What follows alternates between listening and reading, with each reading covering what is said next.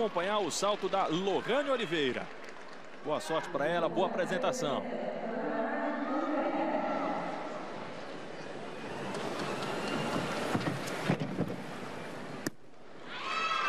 Quero ouvir a André João sobre o salto da brasileira da Lohane Oliveira.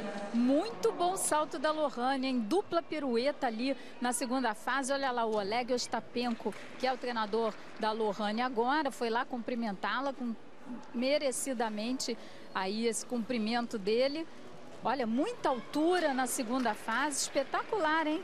Parabéns, Lohane Saltão. Já, já, então, agora a nota da brasileira. 15,166, maior nota dela.